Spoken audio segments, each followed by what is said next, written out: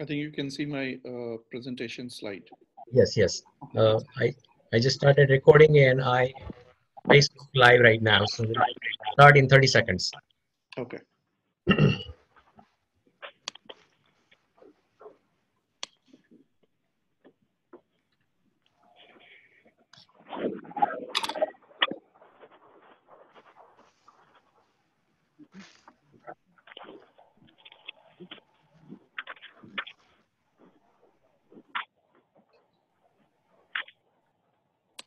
Good morning and welcome to Gopio International Health Council, Gopio Central Jersey and Indus TV's webinar on the role of food supplements played to build resistance against COVID-19. My name is Dr. Tushar Patel. I am the chairman of Gopio Health Council. I would like to thank you all for joining this webinar today. I would like to extend my sincere appreciation to Gopio International Chairman Dr. Thomas Abraham and other international members Dr. Rajiv Mehta and Dr. and Dinesh Mittal for the leadership and guidance uh, throughout the years for Gopio's activities. Gopio Central Jersey Executive Team Kunal Mehta, Kunal Gupta, Amit Kucharia, Neil Mehta, Suresh Reddy, and special thanks to Vijay Garg of PGA and Indus TV who collaborated with us today for this webinar. Special thanks to Dr. Asha Ramesh and Dr. Majeed for Sabinsa, from Sabinsa, Sabinsa Corporation for this wonderful collaboration for our audience. At this time, I would like to invite Dr. Thomas Abraham, Chairman of Gopio International, to say a few words before I introduce our guest speaker today. Dr. Abraham, please.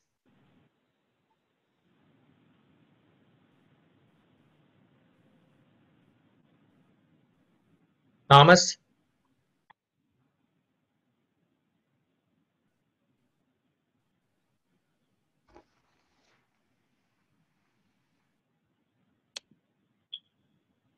Thomas, go ahead.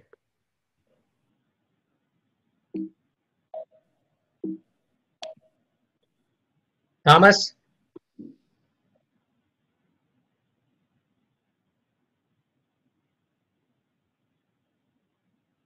Thomas, can you hear us?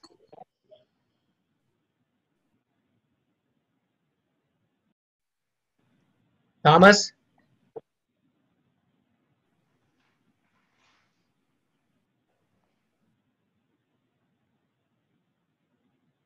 We can't hear you, Thomas.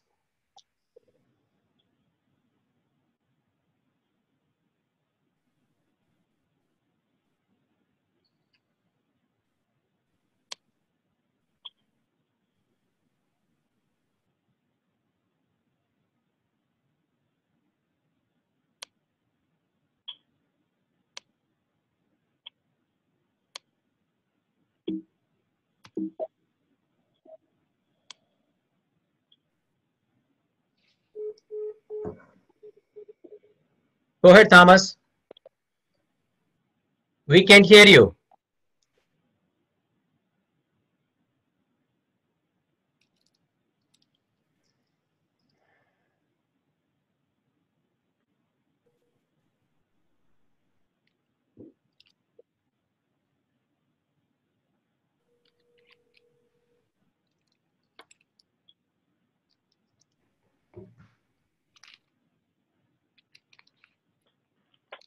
Thomas, we cannot hear you.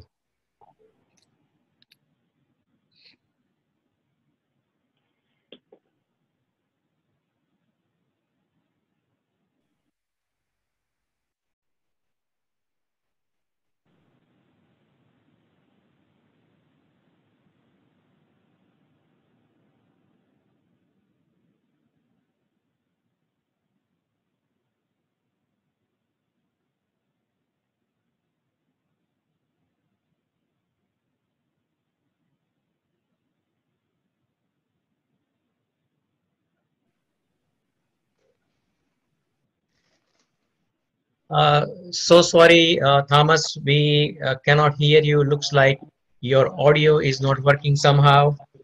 Uh, anyway, we're going to continue with the program. Uh, so for the last few years, Gopio Health Council is organizing health summits in New York and New Jersey. And for the last two years, it, it has become very popular and interest to so many people who attended where we had discussion of medical, mental and oral health, alternative medicine, yoga, meditation, nutritional supplements, and topics of living healthier lifestyle and improve overall well-being. Since we all are following social distancing during this time of public health crisis and COVID-19 pandemic, Gopio is having many sessions virtually via webinars. Today, we are having such a webinar virtually and broadcasted via Facebook Live. We are very fortunate to have Dr. Anurag Pande with us, who will give us some useful information and discuss the role of food supplements to build resistance against the virus.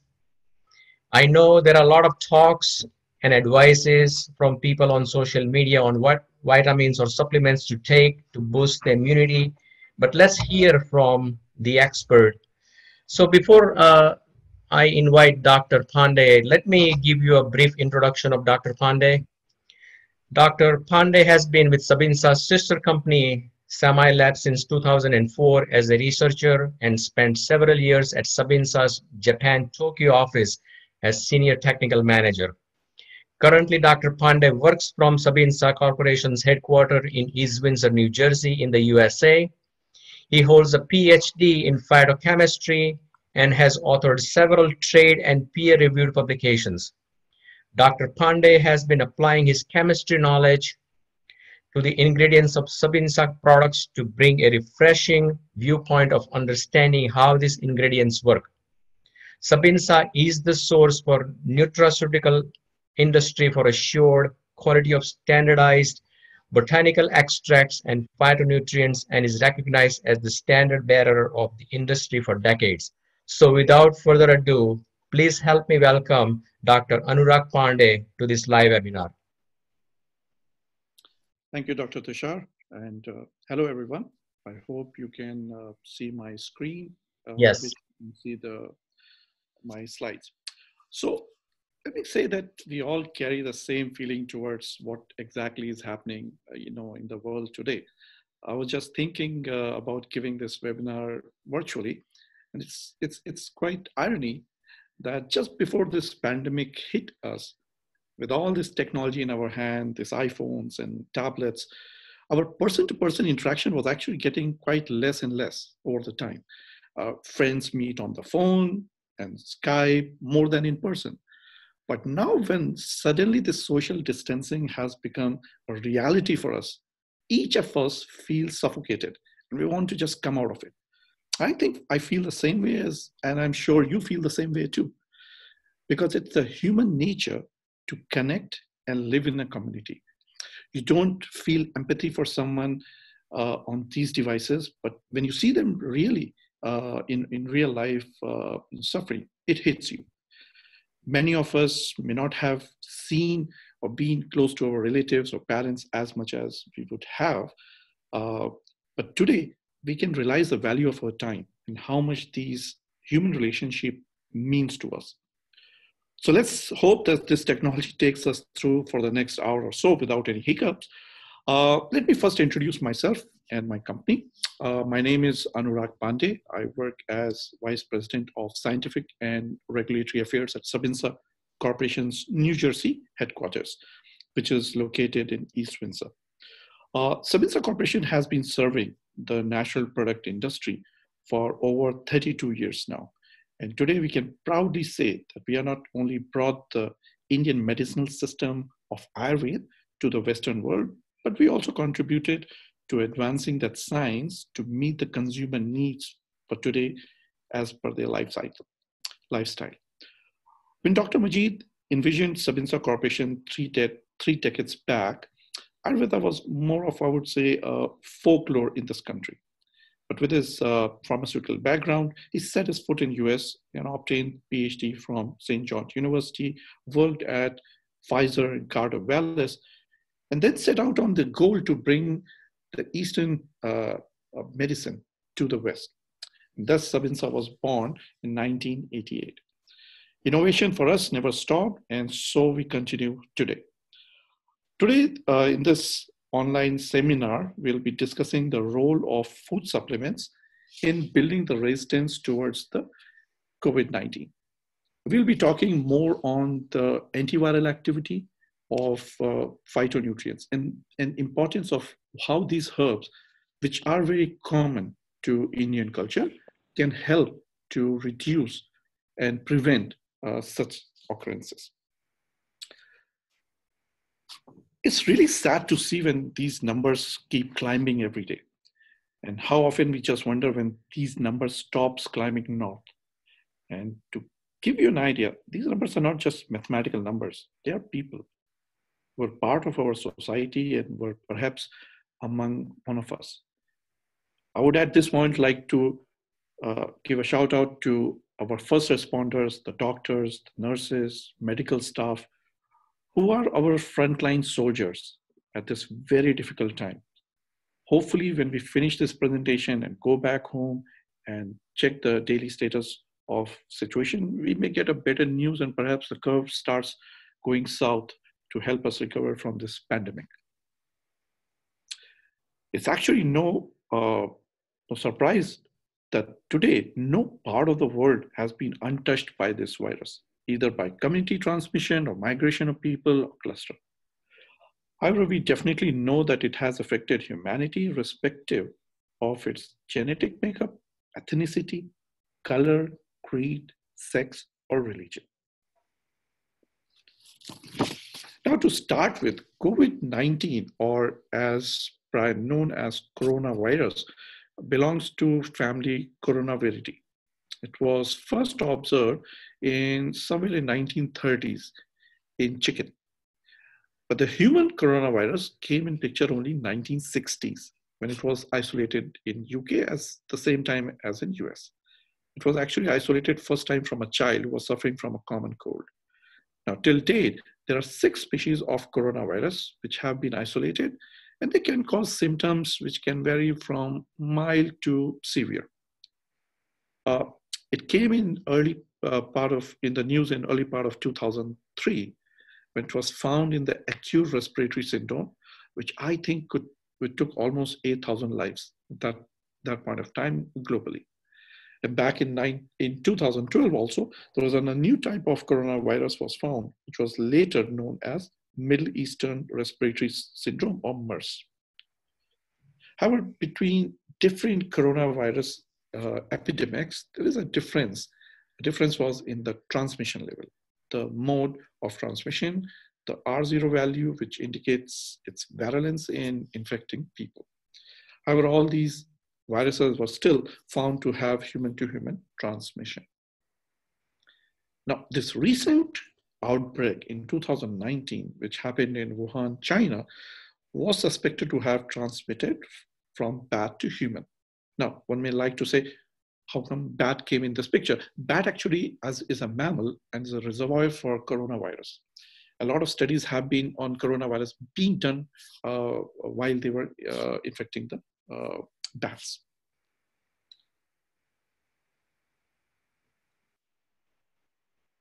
Now, there are certain challenges which we face uh, while treating or managing this coronavirus symptoms.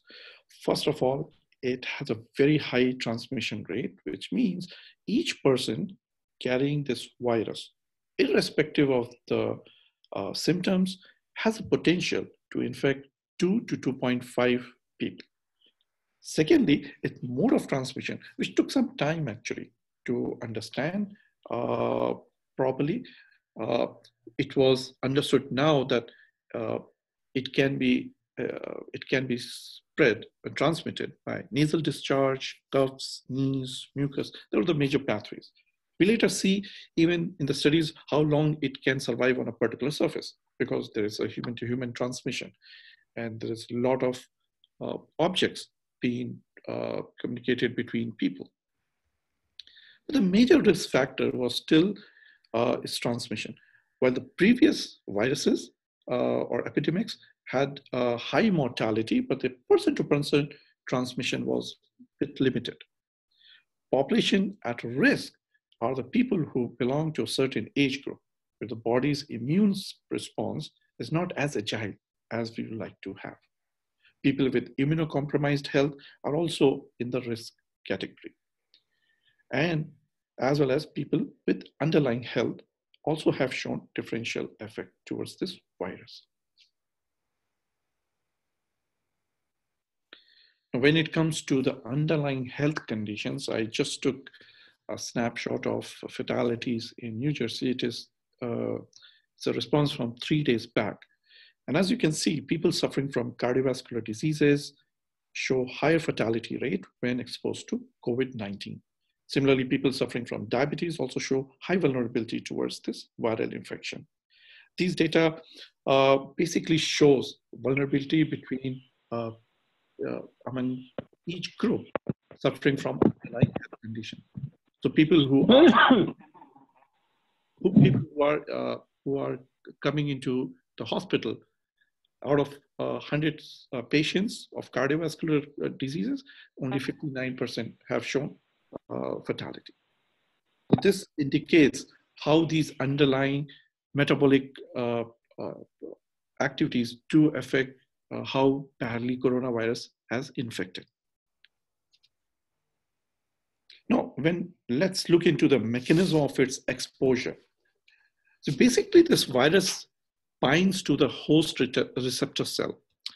Uh, in case of this coronavirus, it actually occurs on the through the angiotensin converting enzyme, what we call as ACE2 receptor. So each virus, when it has to enter the cell, it actually goes through a receptor.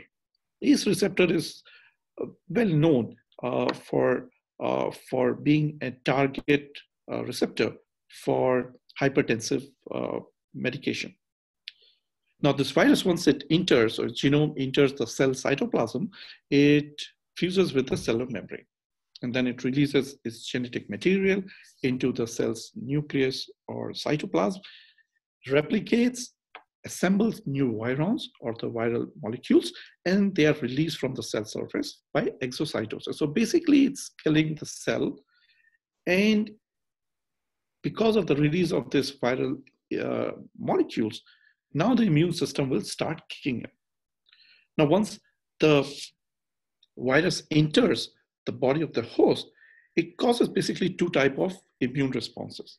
So the initial stage of incubation, which is a non-severe stage, where you feel slight uh, uh, uh, fever, you have some symptoms uh, developing, there is a specific adaptive immune system which kicks in. And the subjects which are in general good health will elicit the specific antiviral uh, immunity, and perhaps they will overcome with some uh, with some uh, effect on from their uh, you know uh, from daily life side, maintaining good health, social distancing. Recovery is much faster. However, we do see this response may be different for people in different age as well as genetic differences. However, if successful, the immune system may manage to overcome the viral takeover of the essential organs. And such people, as I mentioned, may show no or very mild symptoms. And 80% of people who actually contract this virus do show a similarity to this uh, situation. But 20% of people who contract this virus may have to visit the hospital. Uh, rest may be asymptomatic, but here the symptoms are much more stronger. And that is the time when the innate response kicks in. If the initial response is not strong enough to overcome the, uh, the virus infection, then the protective immune system may not be able to stop the virus replicating and it moves into other tissues. This may cause later innate response from the damaged cells in the organs like lungs, which are predominantly more affected, and it may cause the life-threatening disorder this is what we call as cytokine, cytokine storm syndrome. Now, cytokine, cytokine storm syndrome is important to understand. Why? Because it's, it's a form of uh, systemic inflammation when large number of white blood cells, which are actually part of your immune uh, system, are activated and they release inflammatory cytokines, which are inflammatory molecules, which in turn activates even more uh, white blood cells. So in one way, it is basically creating a chain reaction in your body and becomes important and necessary to block this overreactive inflammation before it starts destroying its own cells. So in some way, your own immune system starts working against you. So pro-inflammatory molecules, especially when we look into interleukin 6, it's a kind of a pro-inflammatory molecule. Uh, it can, targeting this pro-inflammatory molecule can actually be a beneficial target for management of inflammation in general, as well as in uh, prevention, as we will see in the later stage. So these pro-inflammatory um, uh, uh, molecules, this IL-6, are now considered to be a target, uh, uh, a therapeutic target for COVID-19 to manage this aggressive inflammatory response, which also breaks the cytokine storms in the tissue. So from here onwards, when we'll be talking to uh, talking about these herbs in general, we'll be actually looking specifically towards the their activity of inhibiting or anti-interleukin 6 activity or what we'll call as IL-6 activity. So we'll see in all these herbs which we'll be talking now, what kind of uh, uh, effect these herbs may have on the IL-6 activity, which is important to stop the cytokine storm uh, syndrome. Now we have seen that uh, cytokine uh, uh, interleukin inhibition can actually help uh, uh, the COVID-19 patients. This study was actually published very recently in Lancet. in, in one way, we have understood that IL-6 inhibition can actually help not only uh, people suffering from the viral infection, but also can be supportive as a preventive medication.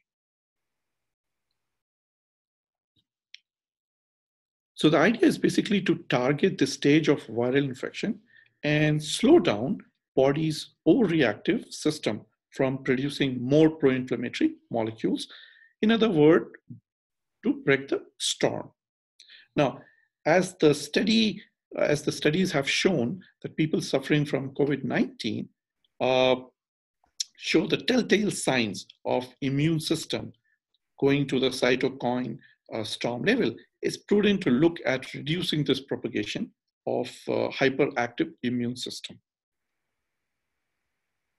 So now let's look at some of the herbs which we have been using in our supplements. Perhaps you may be using some of them in your kitchen uh, for variety of health benefits. But today we'll look more specifically for their action towards IL-6. And we'll also see how they actually have been helpful in initial or preliminary studies on these viral infections. So let's look at the first and most well-known herb, uh, which is not only in your kitchen, but also actually in US supplement or dietary supplement industry. That is the turmeric. Turmeric provides this yellow colored compound called curcumin. Turmeric at home is used as spice and perhaps as preservative. However, apart from its used in the culinary delicacies, the major interest in this plant has been related to this yellow colored components, which are called collectively known as curcuminoids, with the curcumin as main compound.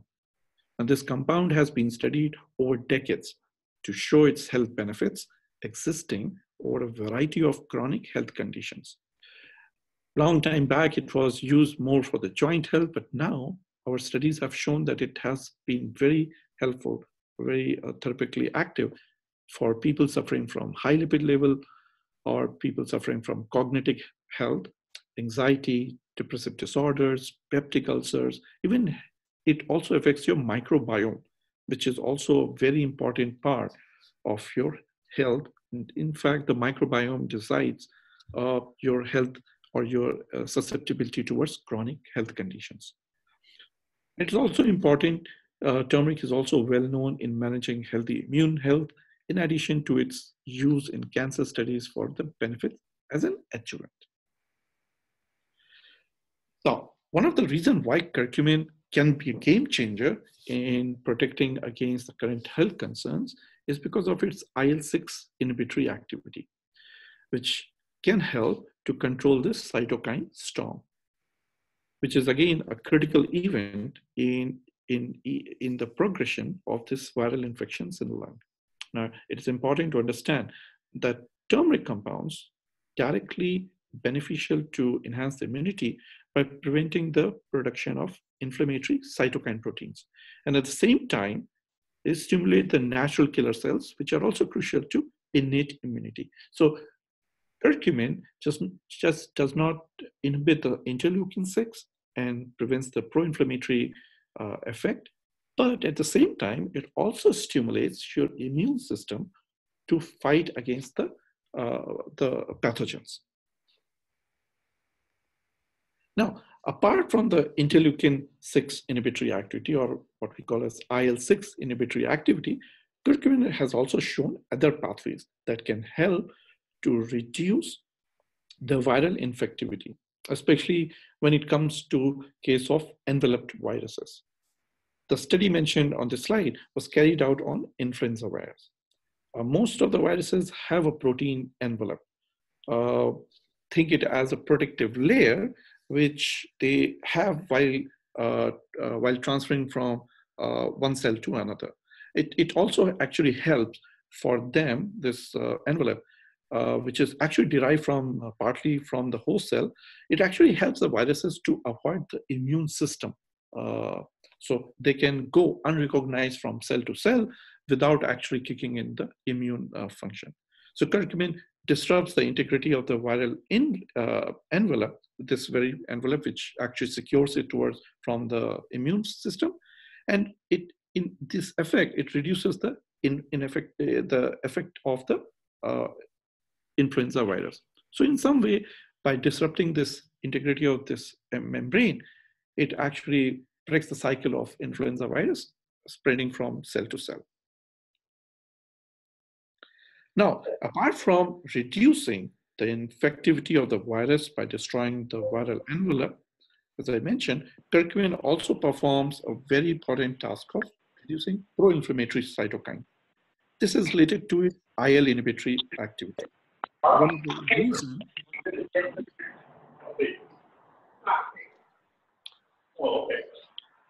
uh, one of the reasons to excuse me to all participants please mute your audio please thank you so much um, so one, one of the reasons uh, often cited for the curcumin's broad spectrum anti-inflammatory activity is because of its direct inhibition of NF-kappa B signaling pathway. I can say in short is NF-kappa B is actually the master regulator for inflammation. So curcumin's broad spectrum activity against viruses inflammation, which is caused by the virus or the cytokine syndrome, uh, uh, storm syndrome, is because of its activity on this uh, NF-kappa B. So basically, it helps to inhibit or slow down the inflammation pathways, which is also part of your viral infection. Now, this uh, this particular uh, study, which is which was published in 2007, actually sized the inhibitory activity of curcumin on NF-kappa B, which is responsible for the downregulation of the pro-inflammatory cytokines. And it basically lists out major cytokines or major molecules in your immune system which cause the inflammation. So here you have TNF-alpha, which is tumor necrosis factor.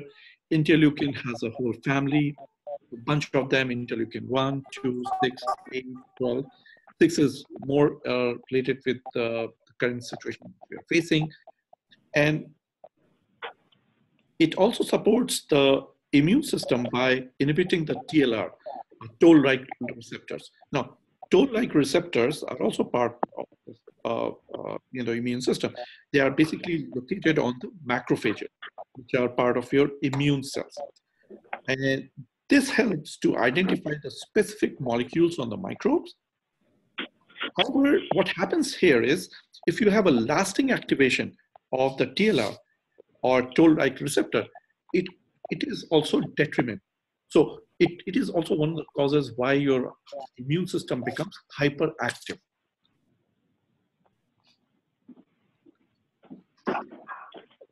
Now let's move into the uh, next uh, ingredient, which is known as kings of bitter.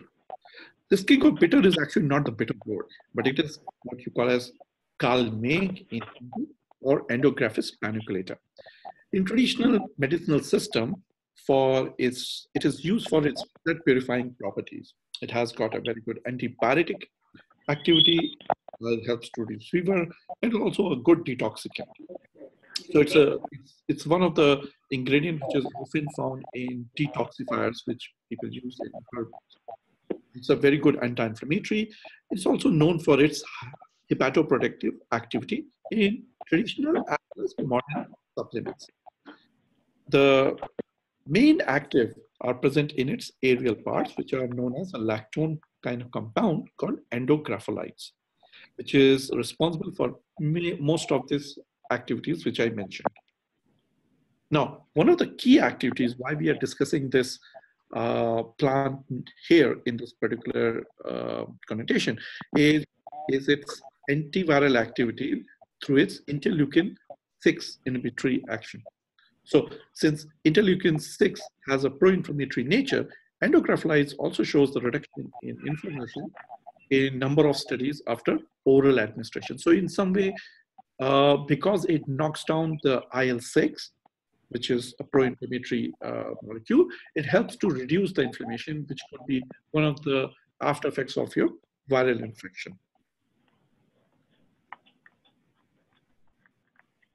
Now, one of the interesting studies which have been done is on a virus which is prevalent in Indian uh, subcontinent, which is called chikungunya. Now, chikungunya is actually a mosquito-borne alpha virus. It's a very different from the coronavirus, but it has emerged in uh, countries like Africa, Southeast Asian countries, where the mosquito uh, is still uh, existing problem. Chikungunya is also an enveloped virus, just as I mentioned about the uh, earlier viruses which also have the en uh, envelope around. So it's it's uh, able to hide the immune system uh, while between the host cells. Now, chikungunya spreads through the mosquito bites, and infected patients may develop symptoms in three to seven days. Uh, clinical symptoms are similar to dengue virus or dengue fever, and they include sudden febrile illness, high temperature, edema, gastrointestinal complaints. Well, this infection is not fatal, uh, but increased involvement of neurological system as well as recurrent infections have caused long-term impact on the quality of life. Now, Andrographis has been known uh, to benefit in this area. It has been able by two different pathways uh, it has been able to uh, uh, reduce the symptoms of chikungunya virus and has been considered as a possible target for antiviral activity against the influenza virus also. In fact, the further effects of this andrographolide on NF-kappa B, which is also something we spoke in uh, turmeric, as, is also a possibility how it can help to contain the cytokine syndrome which, uh, which is a condition in the viral infection. Next, uh, we'll take up this black cumin seed. Black cumin seed is often found in this kitchen uh, for flavoring. Uh, it's very native to Asian culture, Mediterranean, as well as in African region. Uh, there are uh, very few areas of health where black cumin cannot provide benefits. So it has enormous amount of benefits. In fact, otherwise it's also known as a remedy for everything other than death. So black cumin seed, uh, its health benefits you can find in almost every areas of life. I mean, the wisdom of this seed is known for centuries. And perhaps worth mentioning that this its seeds were discovered in ancient Egyptian culture, uh, where the seeds seeds have been also used uh, in Chinese as well as Indian medicinal system. In Arabian culture, it is known as best seed. Now, the research on black cumin seed oil is focusing on these ancient uses and continuously validating uh, the application uh, which were done in, in, in folklore medicine. Uh, black cumin seed oil contains some very interesting compounds, including thymoquinone, hydroquinone, hydrogenin, as well as uh, it has a very rich uh, fatty acid profile. Uh, these compounds have varied activities which are responsible for its broad spectrum activity, as I mentioned. Uh, Nigella sativa or black seed has been studied for antiviral activity as well as for its anti-inflammatory activity, which is one of the reasons why we have included this uh, nature's gift, I would say, in this presentation. Thymoquinone is actually the main active of black cumin seed oil. It has been studied for its IL-6 inhibitory activity. At the same time, it also enhances the survivability and the activity of the T cells, which include the C8, CD8 T cells involved in fighting the viruses. Now, just to give uh, an idea, T cells are part of our immune system and they play important role in defense against the virus and the bacterial pathogen. So once it recognizes an antigen, or antigen is actually basically a protein uh, in, uh, on the virus. Once it recognizes the antigen on the virus, it becomes activated. One of the way it kills the virus is by releasing the cytotoxic granules, which can break the protein in the cells, stop the production of the viral proteins. It's important here to understand that this release of cytotoxic granule occurs in the direction of the target cells. So in some way, it helps to avoid the collateral damage to the healthy tissues surrounding the infected uh, cells. So you, if you see these molecules, these phytochemicals, they actually elicit positive response from your immune system. So instead of creating an overactive immune system, which actually we see uh, can, can be detrimental to health, these molecules can actually give up a, a positive immune response to fight the pathogens.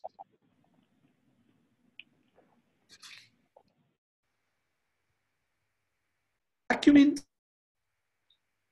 variety of viruses. Studies on the avian influenza, or better known as H9N2 virus, shows that black seed exerts anti-influenza virus activity.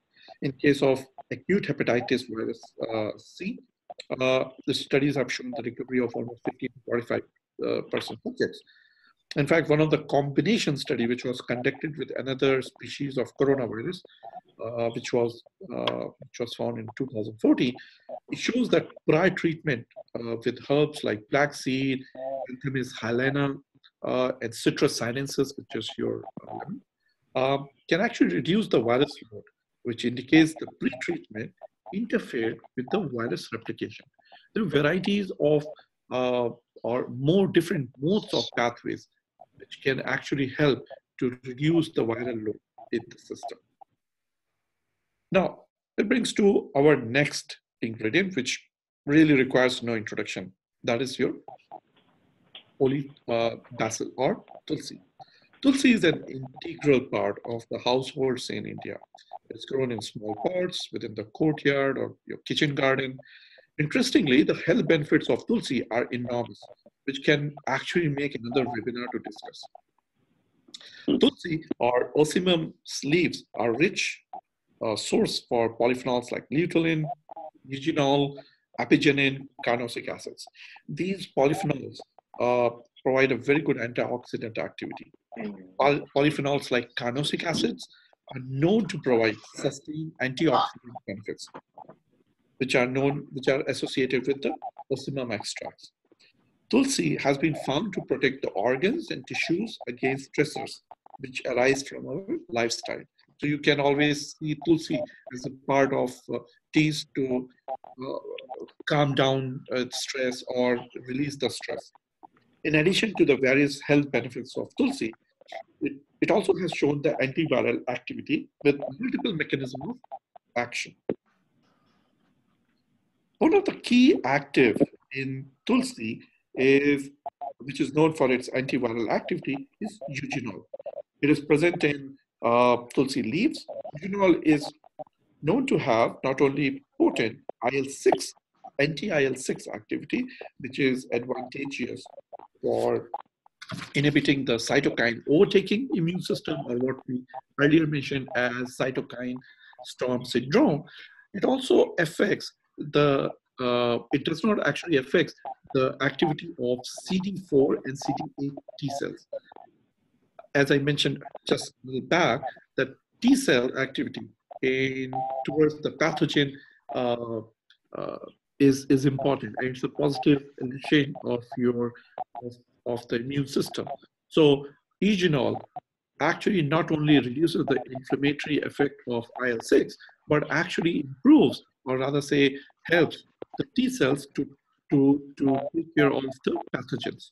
So in some way, it is again illustrating the positive effect on the immune system. Now, good example of this antiviral activity was observed in a study on the bird flu or H9N2 influenza virus.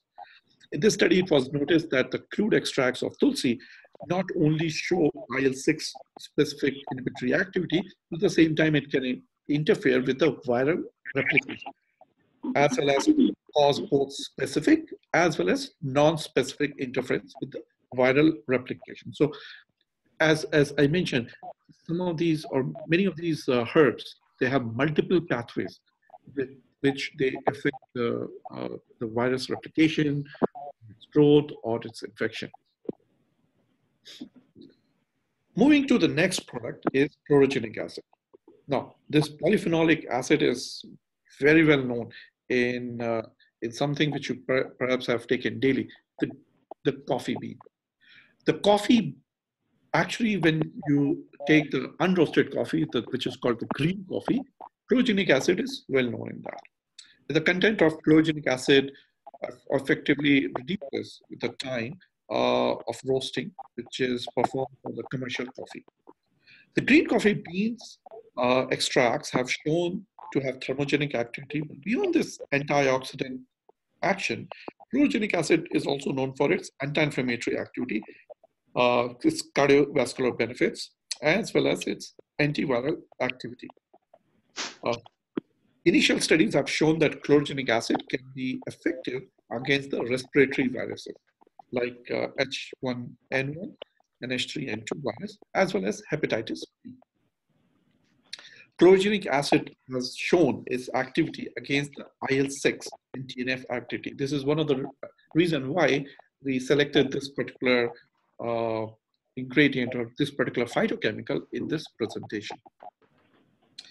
Because both these activities are important considering their potential role in causing the cytokine storm. Again, if I'll just remind you, the cytokine syndrome is part of uh, a cycle where the virus has already been spreading and your immune system uh, becomes hyperactive. And in, in that hyperactivity starts causing more uh, uh, uh, more destruction of the of the tissue than to the uh, virus itself.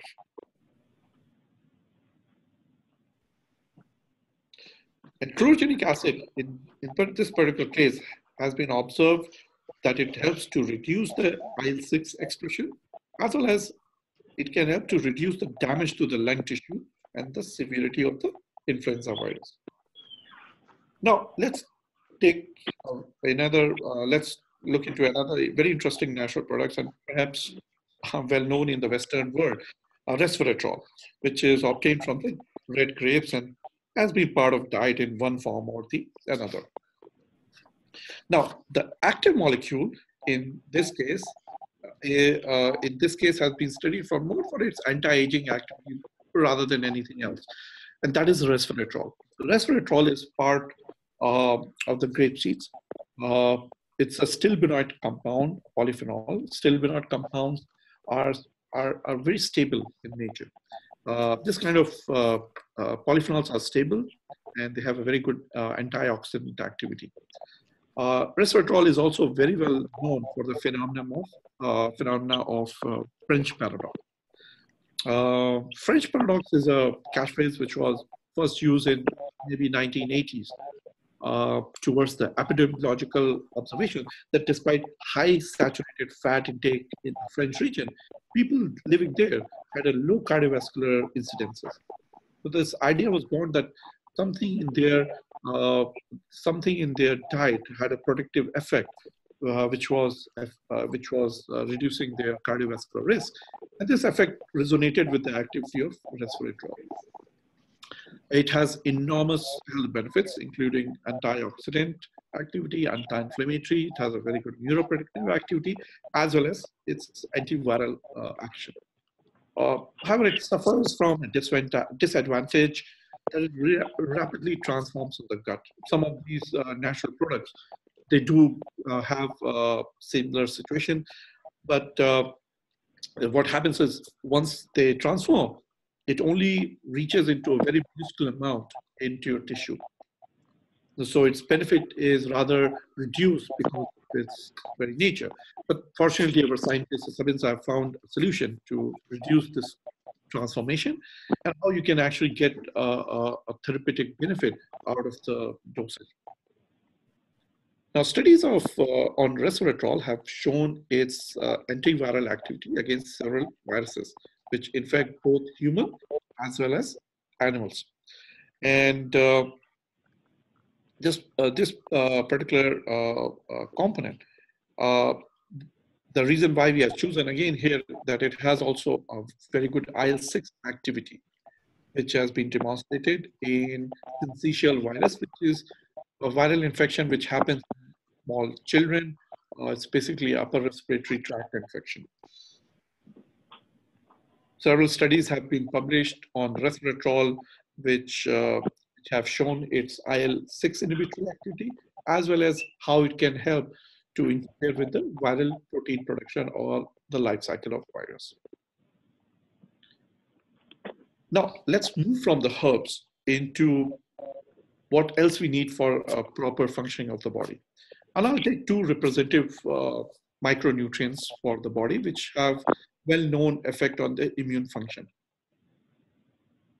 Now, it is well recognized that nutritional status of the host or human can lead can be a leading role, play a leading uh, role in the defense against the infectious diseases. Many studies have shown that nutritionally deficient humans are more susceptible to a wide variety of infections due to impaired immune response. But it, the, the situation is actually much more complex. Why? Because an immune impaired immune response also is resulting from the immune deficiency can also increase the virulence of the pathogen.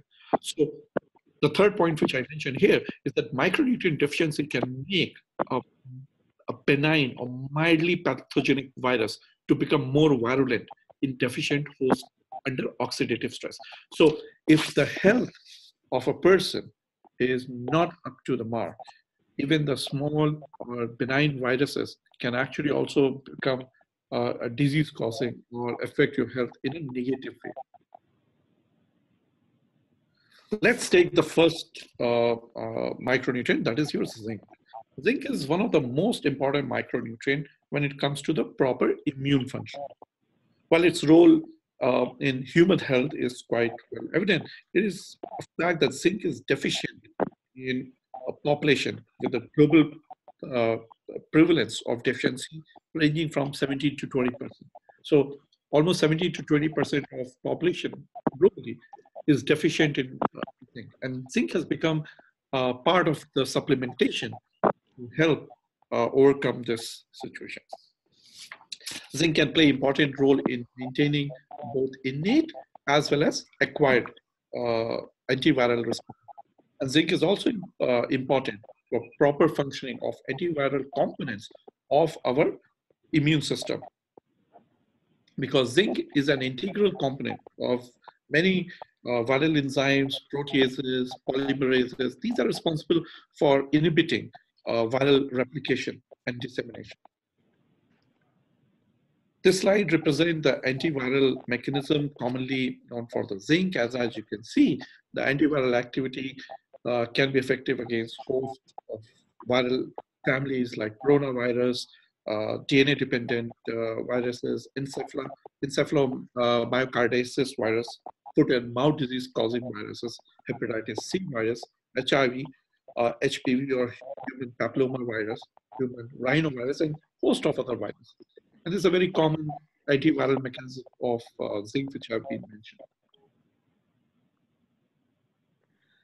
Then we move to uh, my last example of this viral, antiviral nutrients, selenium.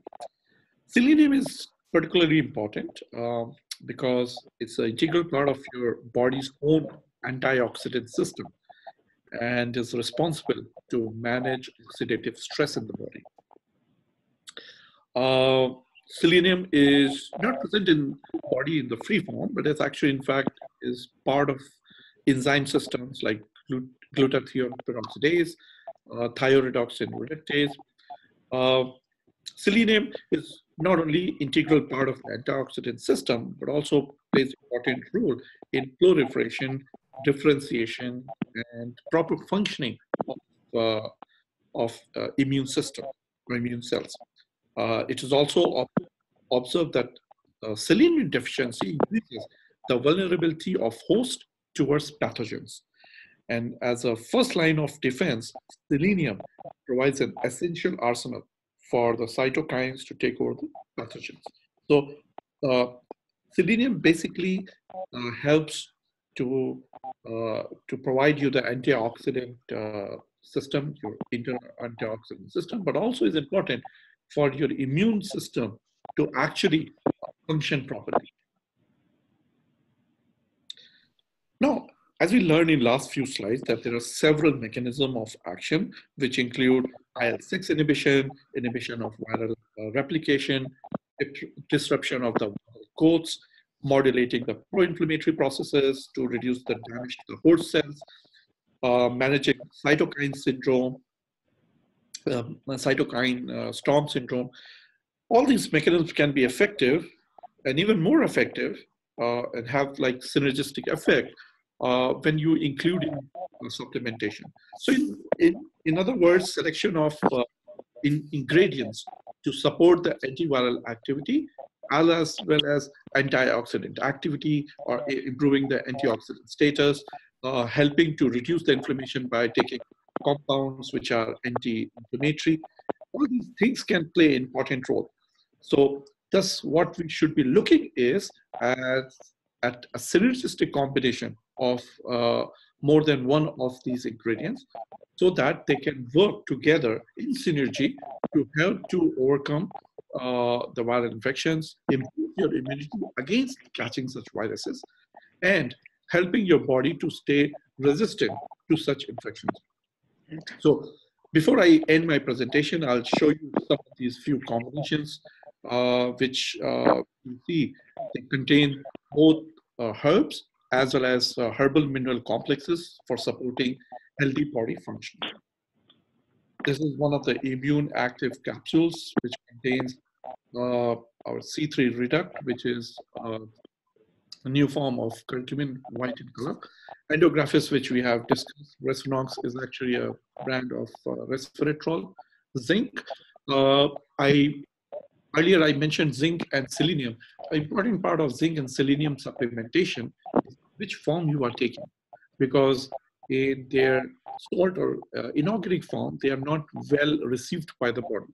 So you may be taking a zinc supplement, but in a in a wrong form of it, you not absorb in your body, and perhaps it limits its benefits. But when it's taken in the organic uh, uh zinc or organic selenium form, uh, where it is chelated with organic components like uh, amino acids or uh, ascorbates, it becomes much more effective. Uh, this is uh, uh, another product called Immune Health from Sanutra range of products, which contains the very components which we discussed, turmeric extract, uh, Emblica officinalis, or Indian gooseberry extract, which is also very well known for its uh, immune function. Uh, it also has got minerals like selenium in its organic form.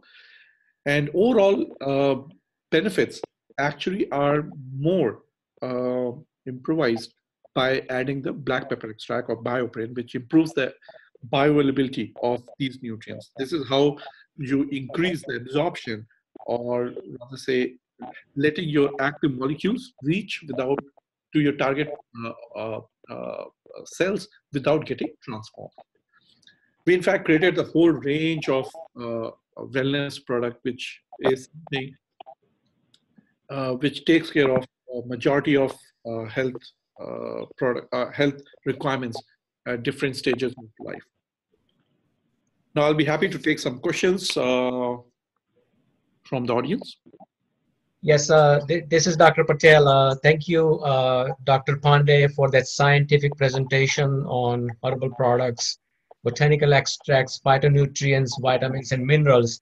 You, you know, Dr. Pande, typical allopathic practitioner in the Western world, don't promote vitamins, herbal products, or nutraceutical products. But now, what I see uh, from the patients who have been discharged from the COVID 19 infection, or while they are in the hospital, they are giving them vitamin C, vitamin D, zinc, and, and many other uh, vitamins and minerals. So I think this talk uh, you talked about zinc and selenium. Uh, I think is an eye opener for many practitioner, many practitioners in this country and Western world. And I think we all need to consider scientific uh, based uh, promotion to this kind of product. So thank you so much for that wonderful presentation. So we'll open up this uh, uh, for question and answers. I'm gonna unmute everyone and we'll with the questions.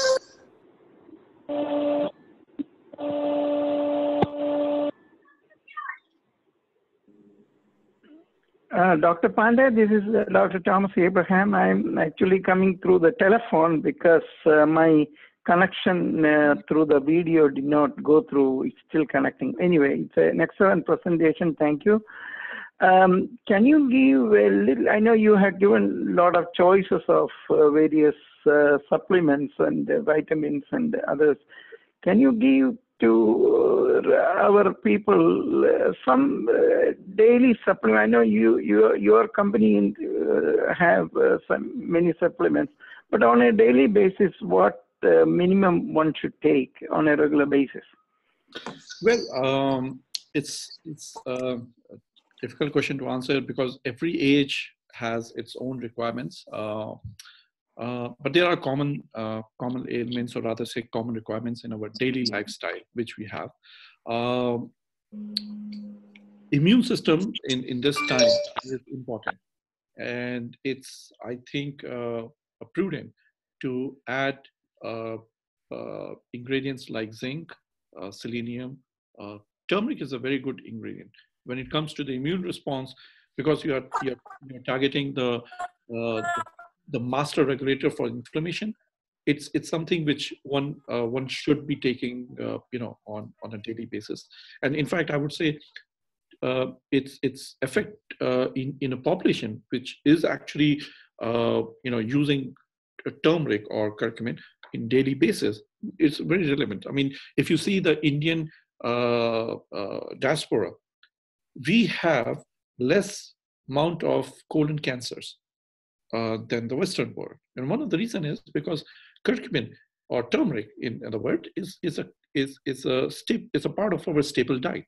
So what happens here is that it helps to prevent these pro, pro-inflammatory uh, molecules developing in a colon because the diet, the Western diet, which is prevalent, uh, contains a lot of pro-carcinogenic components, especially when people take, uh, uh you know, uh, uh, grilled food where the protein burns and chars and you know it, it goes in your in your food. These these incidences are much higher in in in the population which is not uh, which is not uh, yet you know taking this these phytonutrients on a daily basis. But in in in if you compare the western world towards the what we have in in in india you'll find the rate of colon cancer particularly is very less compared to uh, compared to the western one and one of the reason I I, uh, I, I think is basically because of uh, is the fact of the health benefits which we get from the curcumin. So yes, these are some of the actives. Vitamin C is another uh, uh, uh, product which you should be taking for the seasonal symptoms, improving your immune health more than anything else, good nutrition uh, is also important. uh, we take too much of uh, products which are processed food. Unfortunately, it's a part of our lifestyle. It's a part of our diet, where uh, time is also you know important. So we depend upon uh, frozen foods and you know uh, snacks and so on. But the fact is, uh, many of these nutrients or micronutrients like zinc, they are present in the food, but because we are processing them so much, it becomes almost uh, an irony that the very reason why you are eating breakfast to get more uh, more fiber in your food, you actually have the the the companies who pro- provide you the cereals now actually have to add those fibers back into the system. So you'll find Kellogg's coming and saying uh, high fiber, uh, you know, cereals. The cereal was always supposed to carry it just because it's processed too much. You you end up actually having to add up those things. So your your food intake is also very important for your health uh, it's just not the supplements but the food intake itself the quality the, the kind of food which you are taking uh, is also very relevant to your health.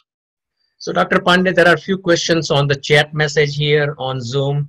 Uh, and the first question is where can we get these supplements?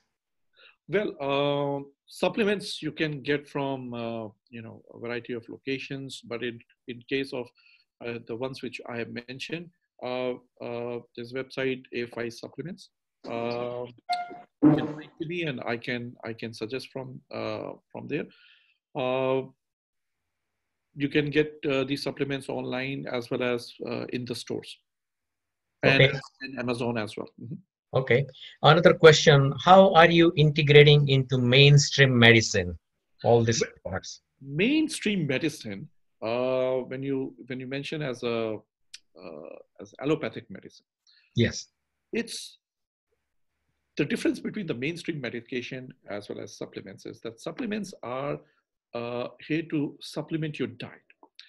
They are here to help you to uh, to retain or regain the nutrients which were supposed to be your part of your food. See, the food was supposed to provide all these ingredients which I mentioned, majority of them. Uh, you, you're you're taking zinc because you're deficient in zinc. You're taking vitamin B injections because you are deficient in B. It's not that you're not eating good food, you are eating a very healthy diet. But majority of Indians, uh, or uh, let's say majority of Americans, they lack these vitamins. Uh, they lack vitamin D, they lack vitamin, uh, you know, Bs and so on. The, basically, the purpose of supplementation is to provide those lacking nutrients back into your system. Now, integrating the mainstream medicine is because mainstream medication has a different fundamentals. They are they treat the symptoms, and often they don't treat the the underlying uh, region, uh, reasons for that. So here, uh, if you're taking uh, a mainstream medication, talk to your doctors and uh, and and ask them uh, about what nutrients they can take, and often um, and not you will find now the doctors, the Western medication uh, practitioners, to have understanding that people would be taking uh, supplements. We, we, we found ourselves that uh, a lot of doctors do realize, and I, I, I, get calls, you know, from these doctors often who have not yet been very accustomed to some supplementation. They also realize that a lot of people who come to them for variety of uh, function, they may be taking supplements, especially curcumin, BioPerine combination. These are very commonly taken, you know, supplements for joint health, for lipid health, for cognitive health, and you know, so on and so forth. So people, uh, especially in the Western medication system, allopathic, they also are interested to know uh, what kind of uh, uh, effects or what kind of process or mechanism they they are working, and uh, it it helps them to integrate Uh, you know, uh, uh, usually it's a good uh, interaction between the Eastern medication, uh, you know, uh, users as well as the Western to interact and understand how these uh, uh, medications can work. In fact, I do understand in Arizona, the, where we have a college of naturopathy, they are also integrating these education system into the mainstream to understand the upcoming doctors to understand how relevant is uh, these supplementation can be for people who are taking uh, you know medication.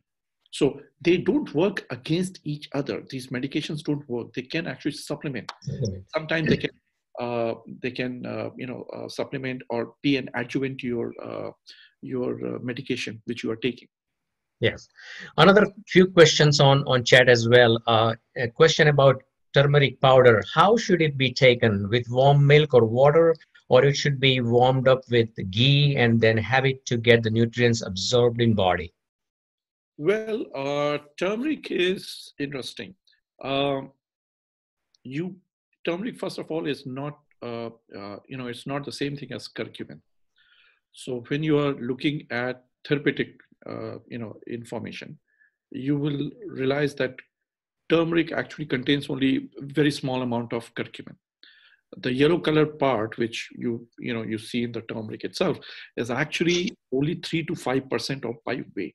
So if you're taking let's say a teaspoonful you are actually having a minuscule amount of uh, active compound. So it's unless you are being taking it for daily for a long time uh, its effects are still very limited now when you take it as a supplementation uh, putting it in the milk or putting it in uh, you know uh, different variety, uh, you know, uh, coffees or thing, may not provide you all the therapeutic benefits. So when you're taking coffee and you add up a little bit of turmeric, it's always good for health. But when you're looking curcumin as a supplement, then what you looking, what you should be looking at is the form of supplement you're taking. So we came up with a dispersible form of curcumin, which now you can actually add up in uh, beverages. But earlier than that, to get the sound amount of curcumin, which is like 500 milligram dosage, which should be taken to uh, you know to get all its health benefits. You it's it's put in to take uh, a, form which is uh, providing you that amount. So whether you add up in your milk or whether you add up into your tea, uh, the question is how much amount goes into your body. Uh, so the the the supplementation when you're looking you should be looking at the quantity which you are taking, not in that form, because dissolving something in water is not uh, usually more effective than uh, what it, it's naturally present in the solid form. Very good point. Uh, another question came uh, from a chat message. Which food items contain zinc and selenium? And you did not mention about garlic. Well, garlic is actually uh, another component which contains some very interesting uh, micronutrients. Uh, and selenium is actually can be incorporated into the garlic. Uh, and we actually have done it without uh, in a hydroponically grown garlics means we take the garlics we because it has a uh, several peptides which actually can bind or chelate selenium so we actually created uh, garlic, which is enriched in selenium. Uh, among the nutrients, I can I can uh, I can suggest uh, you know taking green leafy vegetables is a very good uh, source for these uh, things. When you're taking these minerals, you often find they because they are enriched in the soil. So certain roots which we take, they are always enriched in in these kind of nutrients which are present in the soil. Mm-hmm. Very good. so uh, there is a comment here uh, from Latha Mangipudi.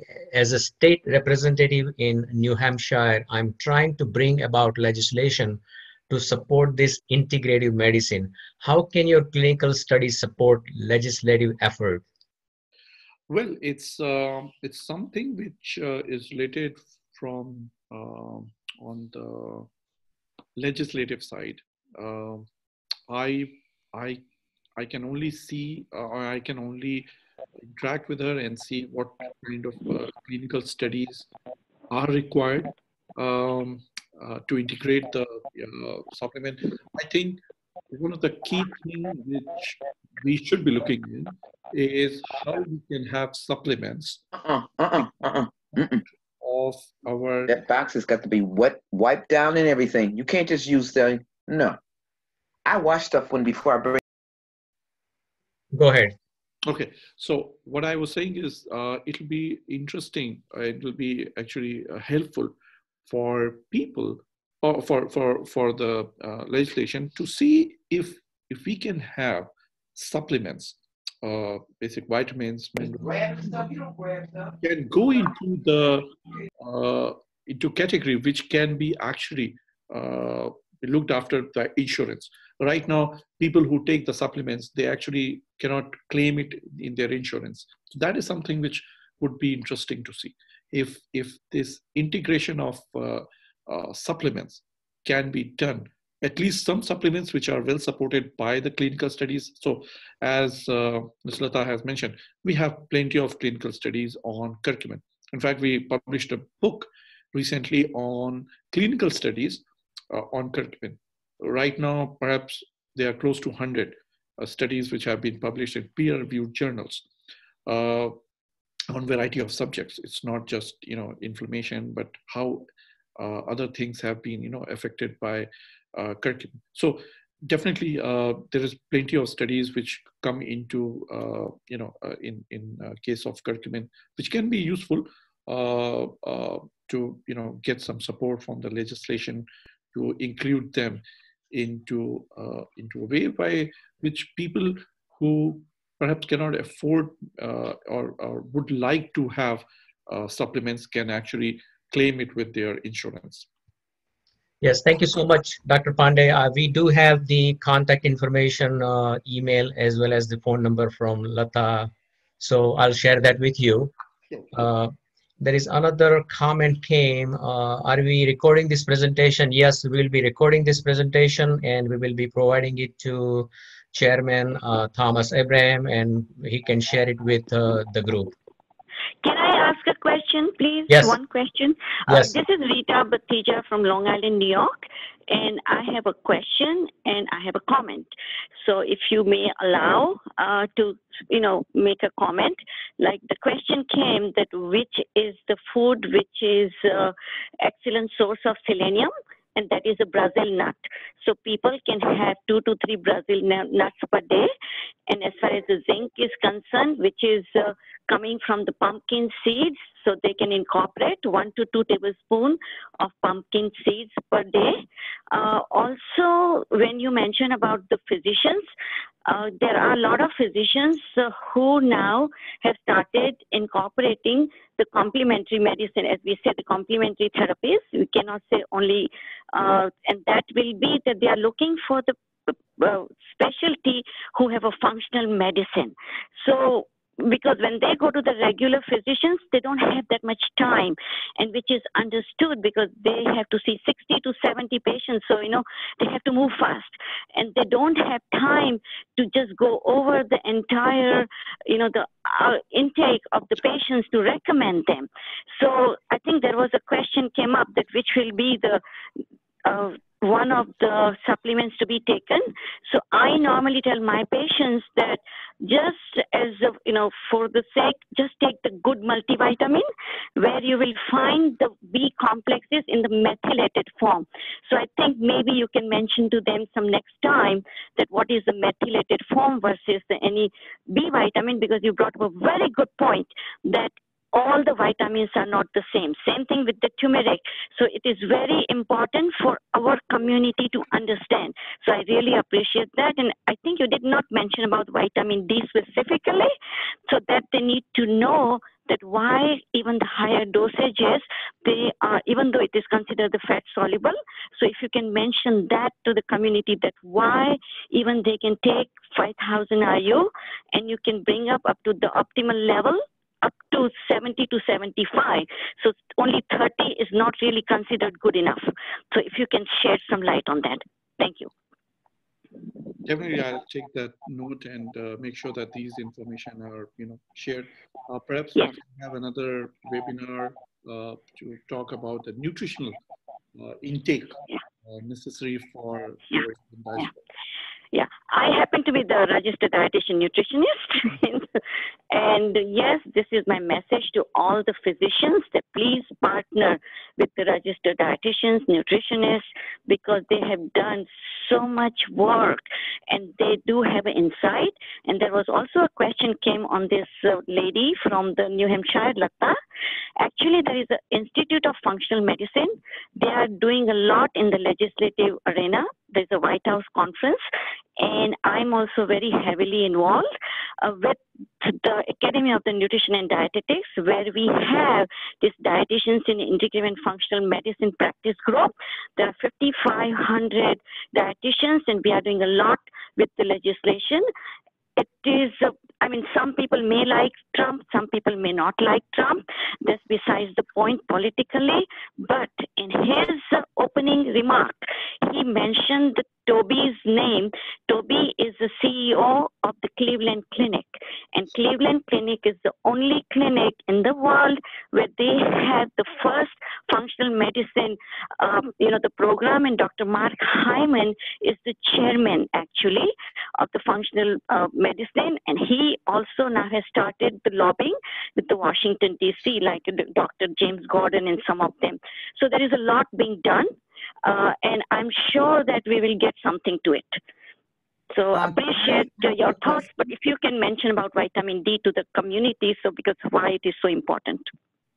This is Latha Mangipudi. I would like to ask a question to the, you know, from coming from a state legislative point of view, I have introduced a couple of uh, legislations in the last two terms.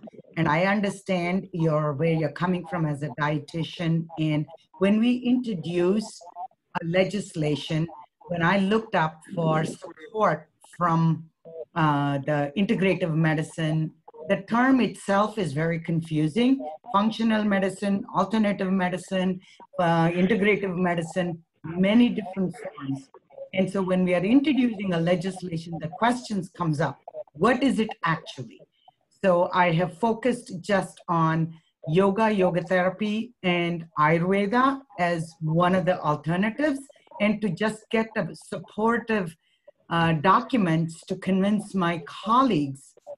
It took a Herculean effort, and I couldn't because it's so wide. So it would be very helpful, uh, Dr. Pande, your presentation, if I could get very specific and quote what uh, medication or supplements help with what kind of thing, especially with the COVID 19 situation where we are building, trying to shift the attention from not just symptom treatment, but also uh, building the community's immunity. And, you know, that is a very key opportunity we have. If we can do a coordinated effort, it would really help. Okay, let me give you a little bit of uh, my insight on this matter because this is something which is perhaps uh, important for uh, the whole community to understand, as well as uh, we coming from different areas, uh, you know, uh, dietitians, herbalists, and legislation. So, giving you just a little background of how these products are regulated is important uh, every country has a regulatory body which basically looks into how these products, uh, whether they are drugs, food, or medication, they are uh, uh are put in the market and what you can say, what you cannot say. Um, the supplements or what we uh, what you have mentioned, uh, Dr. Latha also had mentioned as functional medicine or uh, alternative medicine or complementary medicine. These are terms which uh, in, in FDA, which is the governing body or regulating body, uh, consider it as a part of food, which is called dietary supplements. Dietary supplements, and for, uh, for uh, all of you to understand, and perhaps in case of legislation, it is important to understand that they, uh, they regulate the health supplements under the uh, under the regulation of DSHEA, that is the Dietary Supplement Health Education Act. This act was passed in 1994, October 15, and it allows the food, uh, uh, it allows the dietary supplements or these functional food which you mentioned to be part of the food and they are allowed to make something structural and functional claims.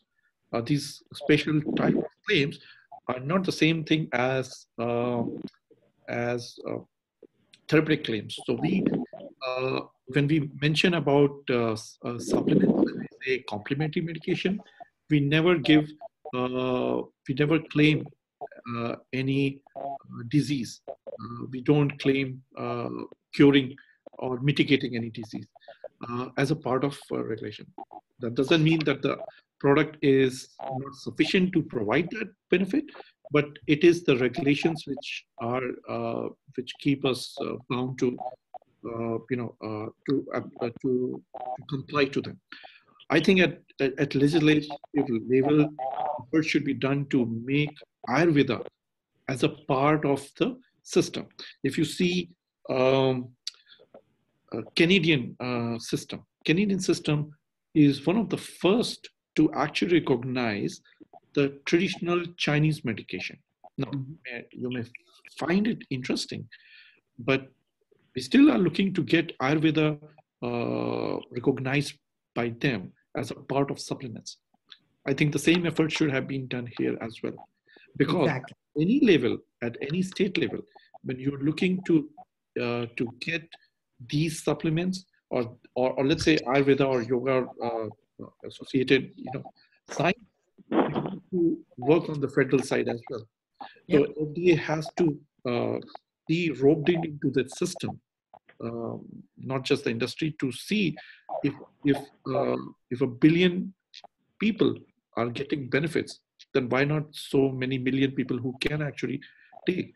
And uh, and really, in absence of that, you're not getting the uh, all the benefits of uh, you know the Ayurveda in in that context. So yes, I, I definitely agree. This this this can be something which one can look into it. But as of now, supplements. Uh, when you're looking for, uh, uh, you know, uh, in this particular stream, i will I'll not go beyond what we have been discussing on the, on the, uh, on this topic. Uh, when you look for supplements, you may not see people mentioning COVID-19 on the page. This is not something which we or anyone should be doing. Uh, we, we make claims which are allowed by supplement uh, regulations, which we comply and adhere to. Uh, we also make presentations to the government uh, to, to improve the level of uh, claims which can be allowed and be relevant to people who actually have the this. This is another thing which uh, which you have to look. I mean, these, these things are something for perhaps a roundtable conference would be uh, more, uh, you know, uh, better uh, platform to discuss. But there are certain things which we, uh, which we have to look into before going into, you know, into that area. Thank you so much, Dr. Pande. Uh, we are uh, almost at the end of our time, almost 12.30. Uh, I have you. one question, Mr. Banerjee here. Go ahead, sir. I have a question about coffee. You, we all drink coffee. And thank you, by the way, Dr. Pande, for an excellent presentation. I'm from Canada, Mr. Banerjee here. Is which any particular kind of coffee that would be beneficial to get the benefits that can help us to fight and build immunity towards the virus? Well, actually, uh, Dr. Banerjee, interestingly, Mr. The, Banerjee, yes, yeah, Mr. Banerjee. Uh, yes. Mr. Banerjee, um, this particular ingredient is actually in the green coffee. And when you take the coffee as you know staple diet, it's actually a roasted coffee. So you may not get it as a coffee, but you may actually have to take it as a supplement. Oh, I see. So, so the regular coffee will not be as effective, is what I'm hearing you say. Plus, I would not suggest uh, to take too much of coffee based on the caffeine content. But you, uh, in Canada, you have the uh, a little more regulated system than US. So you have this uh, NHP, natural health products. And uh, if you look into the NHP, you will find the green coffee beans or uh, regulated, uh, you know, uh, health benefits which which are acceptable in the in the in the Canadian system. So you may need a supplement of coffee itself with. I appreciate that. And also, just to add to your comment about Canada and the regulation, it was the province of BC, known as British Columbia, about 10 years ago or five years ago, that allowed integrated medicine, in particular Chinese medicine, to be uh, provided through OHIP. OHIP is our, our uh, it's, it is, it is the funding for health, because health is covered here. So it is through the province of British Columbia uh, if anybody has a question or needs any help, I do know parliamentarians in British Columbia, or we can study to see how did BC get this approved, where integrative medicine has been allowed to be one of the mainline medicines that are actually funded and covered by the province of British Columbia. Thank you, Mr. Banerjee. Uh, thank you, Dr. Anurag Pande, Sabinsa Corporation for that wonderful presentation today. On behalf of GOPIO uh, Health Council, GOPIO Central Jersey, and on behalf of our chairman, Dr. Thomas Abraham, I would like to thank you all for joining uh, for this wonderful presentation. And Dr. Pande, uh, any uh, departing comments for the for the group? Well, I would, uh, uh, you know, lastly, I would say that, you know, in difficult times, uh, let's stay together. Uh, social distancing is, you know, uh, something which uh, we have been practicing, and I think you are actually seeing the effects of it. hopefully, we will come through this problem, and hopefully, you know, we we see the the light at the, you know, the end of the tunnel soon thank you everyone for your time and uh, your questions. Thank you. Thank you so much. Stay healthy.